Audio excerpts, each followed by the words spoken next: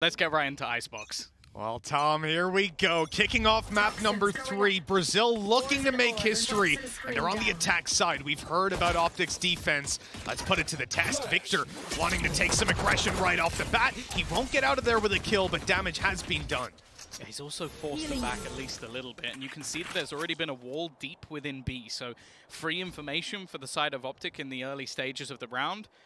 And also the fact that they're just going to rely on Yay to almost take contact on the other side. So there's going to be a lot that Loud have to sort of get through if they're going to make it to a site without anybody knowing or without being stopped. Yeah, Optic's flank game going to be put to the test. You know, with the A site being covered the way it is, Loud are desperately hoping for more aggression to come through. But Optic are playing this one disciplined, perhaps knowing that they could be running in to a ready attacking side. This is all going to be coming through the tunnel. Pancada's already good for one. Victor with damage done earlier can convert, but now they're going to start to dive down on him from above. Saadhak blindsiding and leaving it into a 2v4. They even know exactly where Finesse is, and he'll be taken down with nothing to go his way in that hole. it needed to be a miracle with the elevated positions of the remaining players of Loudon. they do very, uh, very heavy reliance on Yay to get something in this round. I really like Loud's buy. It just gives them so much ability to duel on range on a map like this. Can be incredibly important. You can see that, for now at least, uh, you have early aggression of Optic, grab an orb, they run back, and now you're going to just see them duel slowly but surely, look to pick off a player of Loud here and there, but with the weapons that are in their hands, they have to rely on the element of surprise. Unfortunately for them, it hasn't come through. Yeah, I, I, like the attempt. One player basically playing straight aggressive and then the other using the screen as anti-flash to try and make his way through. Doesn't work out, but it's an idea that might be something that Optic can try and use into the future of the rounds. I think something that has to be premised, which is, is going to be quite interesting, is remaining. the impact of KO. Because that's the real difference. I thought you got that jumping for a second. Prime Gaming flawless, of course, but yeah, one of the things that I think it's so valuable to have that Prime Gaming Flawless, to walk out with two Bulldogs, the Guardian, and they've got everything to work with coming into this. And still, clearly it's going to be favored to Optic, and they should take the round, but it's about the opportunities for Loud. As they're grouped up and looking to take these fights together, this could be very scary for any Optic member holding down. Luckily, though, there are three in position on this A side decent amount of information early. Yay's already going to get that free kill and just back out of there. Pancada gone means they won't have the wall to sort of separate things off, but it looks like they're just going to try and play aggressively instead. Crashies on the swing, doesn't get much to trade there, but actually it's gone quite well for Loud up until remaining. the point where the remaining players swing, and now it's left all onto Saadhak. Any more damage would be great. It's only going to be one, but even still, Mitch, three kills in that sort of round, not bad. All things considered, yeah, he then farms up a free operator. Like it, that that's the most terrifying prospect with the A is just how good he is with that weapon. On this map in particular as well. He can go anywhere he wants. Now the buy, not perfect for Optic. Especially in this sort of scenario, you're kind of hoping you can get things a little bit more clean. I will say as well though, zero points that have been coming through from Victor already, and we're only in what, like round four? He's got them so much early information that they can almost work with their rotations and know roughly where these players are going to be. They also have both of their traps just holding into mid control, so any pressure in that direction, not going to be working out for free. It is a different face to Optic than what we're used to seeing on the so far in this series, where their defensive side is very much based around utility, information, and turtling. But on Icebox, you know, you're going to be pushing up every round. You, can be a lunatic. Finesse hasn't been spotted just yet. Playing on the back of yellow with Judge is a nasty play, especially when there's already players here to tag them on the cross, to give away this information. Now, Saadhak, I'm not quite sure if he's thinking about going across, he's waiting until he gets healed up, but now his utility's destroyed. That's actually a pretty big blow. It means that when he goes around yellow, he won't be able to TP out. Left. He won't be able to escape. Oh, oh And sends them right into the hands of Finesse, who gets nothing done. A good answer back by Less and by Aspas. Sure, no this round is now in contention yet again. He's actually got the Viper's Peer. Using it here would be a risk, oh, he baits in the swing, goes oh. for the oh. final kill and hits it as well! The Red Bull clutch from Less. I, I won't. I, you can already see that over on Loud side, they had the same reaction. They were getting loud. They were hyped up. With three to one on the board, facing into an eco, this is a beautiful scenario. Interesting. Yay's got the Vandal here, and I think you know obviously you'd say, oh, he's got the Headhunter to play with, but he really wants to be able to take One a duel kill. and get that Tour de Force online. But that's the thing, one kill can make a huge Oh. difference. Never mind! Two bullets from Crashies is all he needs. He's put this round straight back into contention already. They've spotted out Victor.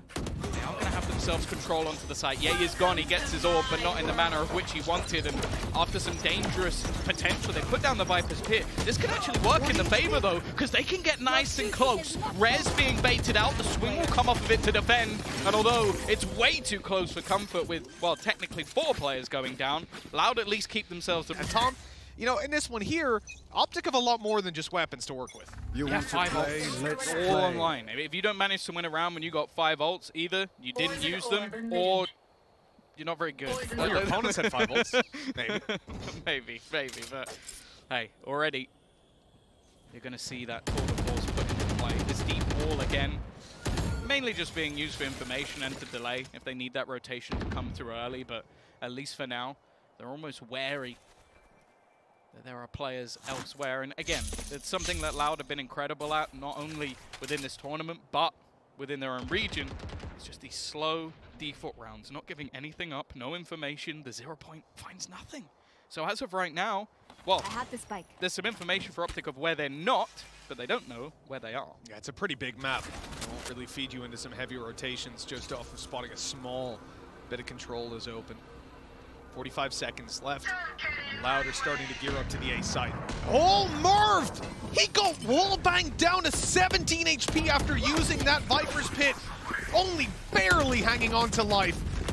But he does manage to at least stay alive. They to have, keep this seconds they have defense. Blade Storm and a Tour de Force. So because they've actually been hit by that null command, they, they don't have much to actually play into until that goes offline. So it's delayed them so much that there's now only 20 seconds, and unless they're going to go for a bit of a, an audacious plant around the outside, I, I think that's actually what they're going to do. They're just going to try and, and uh, avoid this altogether.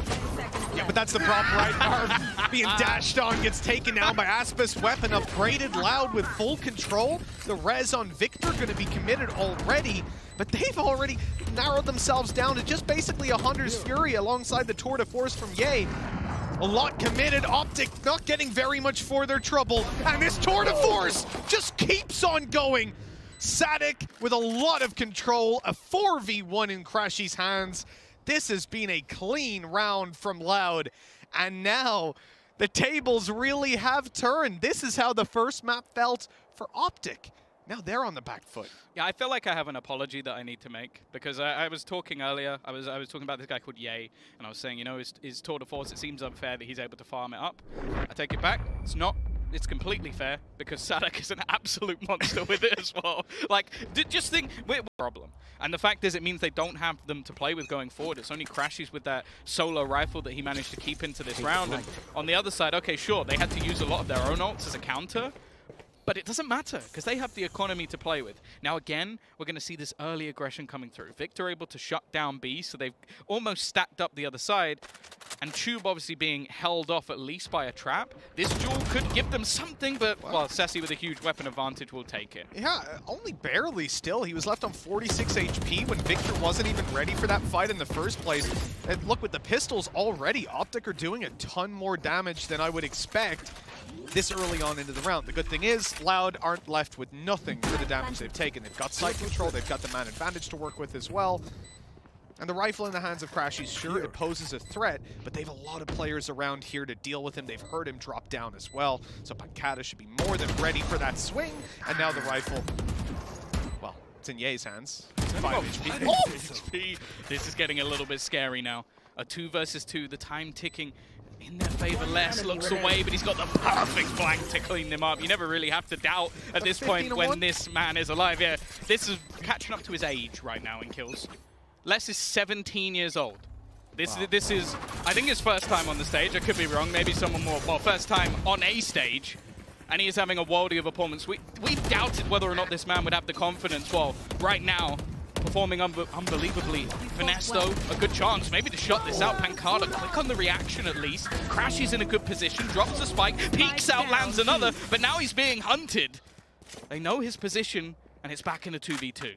I like the idea to push up here. They know the spike is down and that Loud will try to seize back some space, but with a wall blocking them off, they have no choice. No way to push up towards B main. Instead, Right here. they're going to make their way through middle. They're being watched, and it's Yay with an operator.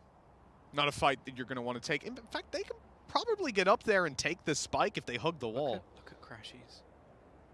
He's pushing so far down that he might have a flank. Like, realistically, Yay doesn't need to overpace in this scenario, but he's going to land the shot anyway. Now Sacy starts to doubt where that second player is going to be because he's managed to get quite far. Stealing the spike's not going to be easy, but instead he's going to avoid it. He leaves it on the deck, tries to bait Yay into thinking he hasn't gone through, knows exactly where he is, but Yay ego peeks him and takes him out. A second round on the board for Optic and a needed as well. So almost just tried to throw Optic off balance and instead well, they end up losing the round, but can almost go back to what they were attempting before. Again, going to be some early information, probably for either side. Ness is making a play once more. Managing to catch them in the last couple of rounds. He's in a very good position here. First goes his way, but getting out of there is not going to be easy. He's managing to dodge the bullet, dance around, but Sacy will put him in the grave. Caught him on the way back through. Loud. They're even hearing Victor jump around as well. They know that he's here. He's got his oh, knife out. No oh, idea that oh. Let's is already behind him. Viper's Pit available, and it's going to be used to guarantee the plant. And at this point, oh, Saadhak, you nasty. Okay, he almost got caught. So close to going down. Instead, he's going to be the thorn in the side, buying so much time for his team. As Optic have to try to deal with him. Good shot by Yay. Now they know that both players are around here at least. The thing is, playing into the Viper's Pit's not going to be easy. They need to kill Saadhak, and actually, Crashies wins that battles as well. The thing is, there is a wraparound coming through from Sacy again, going on that late, late flank. And he's going to be watching, waiting, killing off those players as they tried to leave, or maybe not killing them off. It's become a very awkward battle. He'll just use his shock dart instead. Of while Yay's already made the decision just to save. Again, playing into that Viper's Pit just seemed like an inevitable victory for the opposing side. And it will be now a 7. That half is one for Loud on their attacking side. And well, at least they're going to save an operator, I guess. They might not.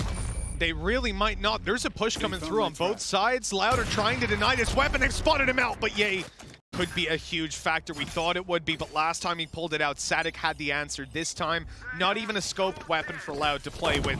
And you've already heard the Tour de Force pop. A lot of players stacked up on A as well. This is going to be a big fight for Optic, but they've got to come out ahead, especially when they're stacked like this. Clearing him from this spot. Not going to be easy, Enemy but the information there, almost trying to set him up. It's not a shot connected, and he has to duck out.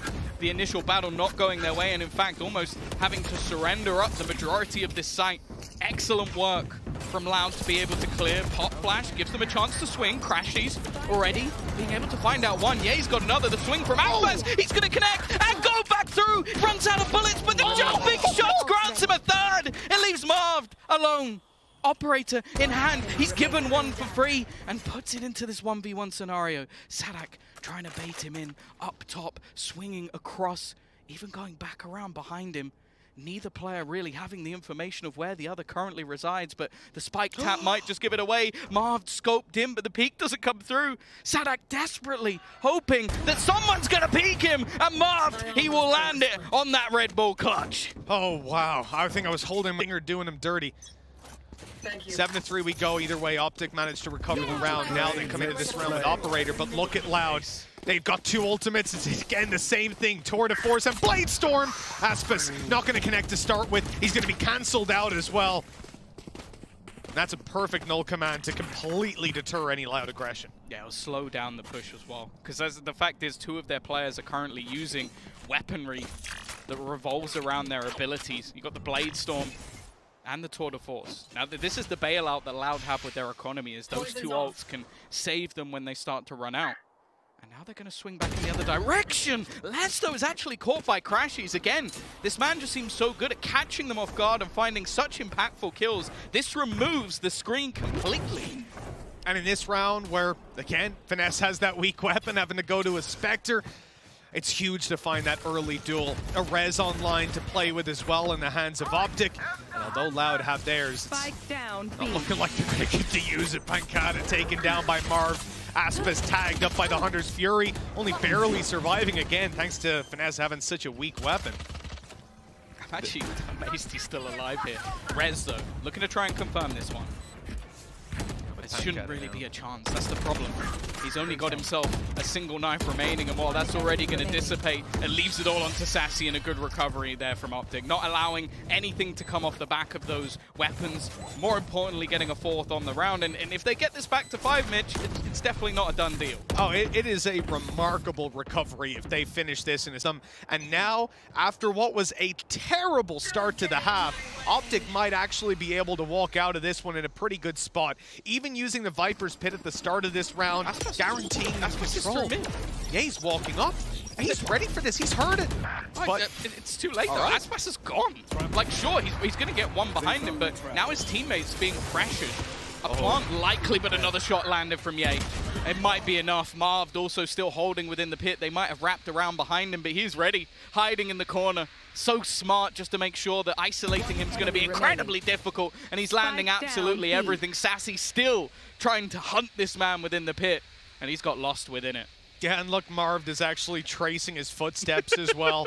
Sacy walking back through, seeing it wide open. He's going to walk into finesse. Round closed out, half closed out. Five rounds for Optic. I did not see this one coming. Uh, Tom's having some microphone issues, but uh, yeah, he said easy. Easy game, I think. Oh, is that Sue? Sue shouted, no. So here we go. Half number two kicking off. Already got a blade going over towards yellow. And they know there's a player up top now. Saadhak having destroyed it. Less grabbing a tag. Two players in position. Saadhak able to grab one TP out. And this is a poor start for Optic. At least able to heal up the damage onto Yay. But with Crashies down, they lose a lot of their initiator utility, their ability to fight behind the wall.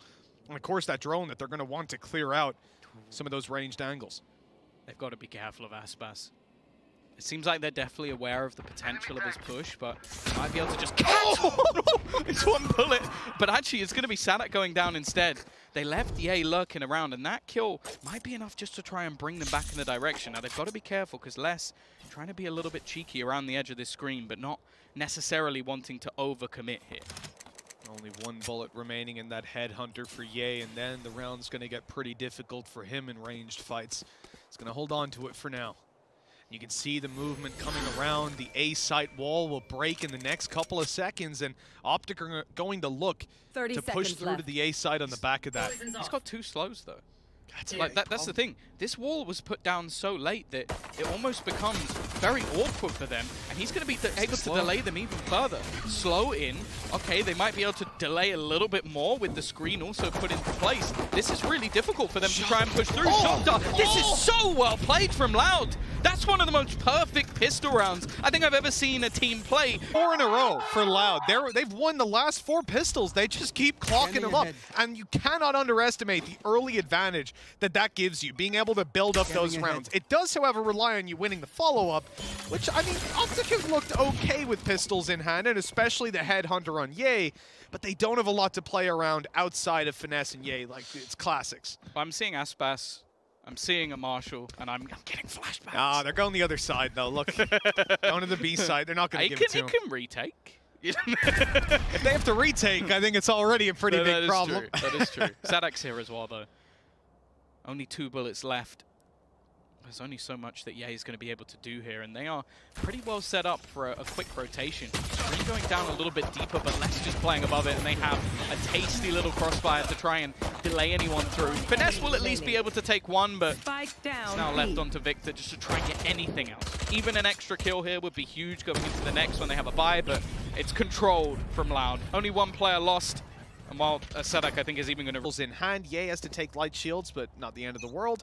Really, what I want to see, though, is what Loud have planned. With weaker weapons, typically we see aggression, and Loud have been a big fan of aggressive plays so far. Saadhak's already up in their face, but he's been spotted. He's going to fall back now, play with the team. They might try to punish him and end up walking into these other two, especially now with the TP, faking out that they've left. They've seen Aspas, they know the other guy's gone, but they don't know about Less. Who's tucked up in this corner. Pancada's being caught pushing A, though, and this will stop Optic from really just running forward and giving it away. With last peeking into them, Right that's here. an easy punish.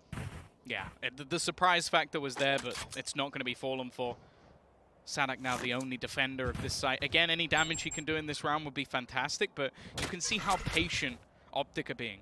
Making sure they clear out other portions of the map. You can see the rotation starting to go back in the other direction, and Saadhak has been able to dodge the utility, but that's almost just a ruse. It's trying to pull players in as they slowly lurk back towards this A site. Optic have played a very good round, and now the only man that stands in their way is Sacy. Drone might even spot him out. In fact, he gives it away first. The peak yielding no results. The Bulldog tagged up on his way back out, and the punish from Marv catches both. Six on the board for Optic, and what's most important is that prime game. Aspas straight in onto the operator. It seems like Saadhak is just going to be playing with the Headhunter in this round at least, unless he can get a fair few kills. And already Aspas is really trying to poke the bear with an aggressive swing. I like the idea, try to uh, assert that map control early, but this time around, nothing connected. You've got an orb blocking off mid, and look at Marv sneaking his way in towards the tube, hoping to grab a kill in the late round or have the same lurk that, I mean, we saw from him in the previous round. Loud, it's slow play, but they're stacked up towards the A side of the map, having so much information from Saadhak. Now, though, he's in trouble. He's given up the control, and he'll try to grab a peek or two with the headhunter in hand. Nothing found, and he can stick around a little longer. Great shot! But it's not the kill. He still has the TP online. He's waiting to use it. Wants to try to grab a frag first. Now revealed on the back of yellow. Nades are coming through, and he realizes, okay, I, have eaten enough utility. Time yeah. to get out. He still manages to buy a lot of time, though. That, yeah. That's like 20, 25 seconds just off him taking ridiculous duels that realistically had no right of ever winning. Still, though, deeper control going to be taken. Not left. really a whole lot they could do. Shock Dart not quite going to close out Finesse, so they will manage to get themselves into an afterplant. Marv is still waiting in the tube, hoping perhaps that Saadhak goes down to delete that bit of utility and allow him to flank, or to catch the rotations. There's Saadhak down. Now it's Marv's time to shine. He's going to be sneaking through, grabbing this off angle, already deleting Sassy. And with this control, they have to go back and deal with him, and Less does exactly that! His third kill in the round! They're defusing inside the orb, but Crashies shuts that one down! A quick double to give the round over to Optic. And with you know if he's going to be able to use it. And for Optic, well, this is them right back into the map, a map that they were looking out of in the early rounds. Yeah, an incredible recovery. The mental to keep themselves in it the whole way, and I mean, I'm sure that first map helped, but it's been hard to find a lot of positives when we started things out here. But now with just two rounds between them and pistols in the hands of Loud, this is the most promising prospect for Optic so far. Now, uh, Loud obviously we saw them try some nasty setups towards B earlier, and Optic really didn't fall for them.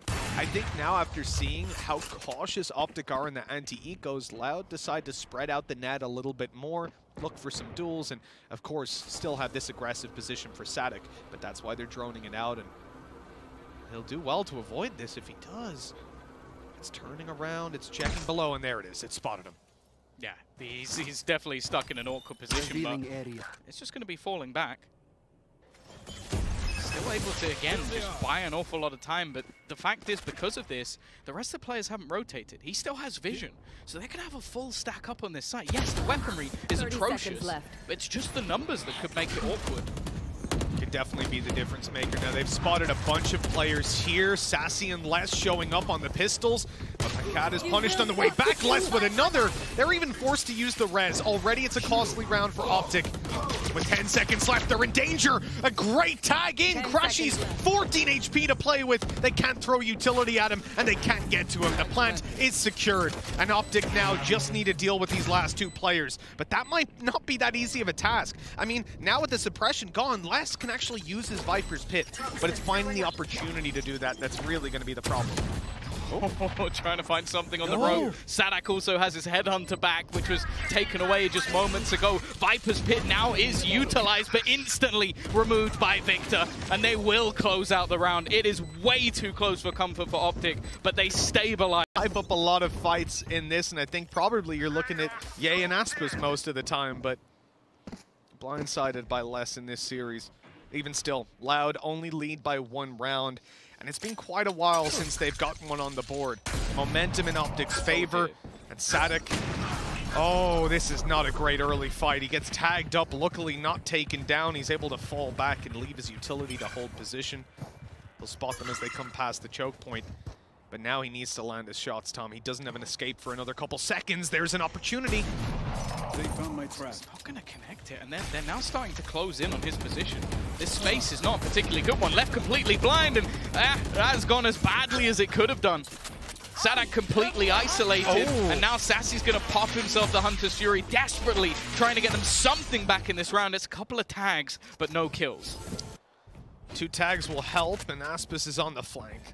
Moving into their spawn, containing them for now. The problem is that the front lines aren't that strong, and now you're going to have players unable to really say anything with their utility. Pancada completely cancelled out. Less, at least good for a kill, but then they lose spawn. And with Sacy down, a Viper's Pit covering the back, this is a very advanced plant that probably won't be red for the most part. And although Pancada gets got past. one, They're not watching the flank. He's managed to get past Oh, no. all of the utility. He smoked it off as he walked through. I don't know if this is going to be expected. They've spotted him move within the pit. This one should be free. That's at least the first. Now they don't know where the remainder is. The swing around from Marv might have just changed it. And now it's left onto the Viper versus Viper. Less needs a huge play and he's right on the edge of it. Marv making that move around and just looking to try and tap onto the spike. He's going to get it to half, but surely there shouldn't be an opportunity here for Less to do anything else. He does not know where that last man is, but he made a noise. He's not going to check above, at least for now. His teammates might have just called it out. And is going to come through when they need him the most. A 10th round on the board. This man is on fire. unbelievable clutch to win that. In the tournament so far for them, as they now get their way to double digits and well, You want to Optic play? Let's They're going to have a play. buy. They've got themselves a tour de force, so definitely don't count them out in any stretch. But that is a blow. 10 to 8. A two round lead. Maybe that's the wind in loud sails now. That was a risky little peek out of Pancada. Hunter's Fury landing a tag, no kill. Drone down mid, spots them at this point. You know Optic are spreading the net again. Oh, oh, actually, Yay is walking all the way through. This is an incredibly aggressive push. He has no escape from here, but he's going to go for it anyways. Looking now to duel down the alley. This tour de force could decimate anybody that peeks into it, but instead Louder just giving him the space. They're like, hey, you want kitchen? Yeah, take it, dude. No problem. You're not getting on the site. But now it opens the avenue for them to challenge Pancada from two different angles, and that could be problematic. He's going to try to push in. Hey, won't hit the shot. That's that, that is ego in Yay. I don't think he'll be used to someone doing that to him. Res online. has managed to come through, and Victor's completely confused. He thinks he's still down by the tube, and now he's managed to take a weapon. Saadhak has found space One as well, remaining. and now it left all onto Crashies, trying to take himself home. A one versus five. Well, he'll get the one, but yeah, that round got man who had previously sprinted with a Guardian into a tour de force. A confident play. They yield the result, and now with a three-round lead, they are just two away from booking their spot in the grand finals and making history for Brazil. Optic, five players stacked up. Look at the weaknesses here, though. Both Marved and Finesse are having to play with Spectres. Aspas. An aggressive position. Already going to tag him up, so forcing him back, and they've got the screen to give him that extra little bit of space to fall. Also going to utilize the wall fairly early, and well, you can see the fallback after the drone tag, just basically trying to delay as much as humanly possible. Still though, four players here at the moment for Loud. They've got a solid read. Oh yeah, they know exactly what's going on again. Saadhak's aggression has been incredible. The only risk is somebody walking through middle, getting behind them under tube, but even then, that's Sacy's responsibility. He's been watching it, he's been using his util optic, making their way forward. And Aspas will be the, probably the first point of contact here. The wall's just gone down, revealing a lot of these players, and a whiff. This could be costly. Aspas up above is taken down, but that's the only kill for Optic.